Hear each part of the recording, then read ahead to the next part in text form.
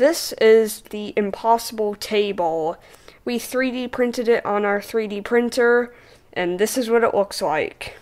As you can see, there are some strings holding up the table, and it can hold this camera battery charger, but it is a bit wobbly.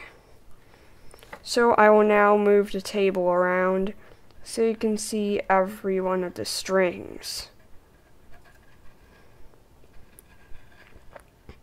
This table uses four strings, and the link to the 3D file is in the description. So here's another experiment with this impossible table. If you hold the table like this, it looks like this.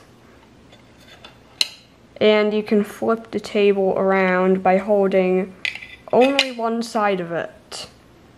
Make sure to like and subscribe for more videos.